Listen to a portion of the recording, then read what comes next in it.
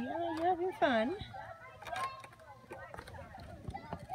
Good climbing.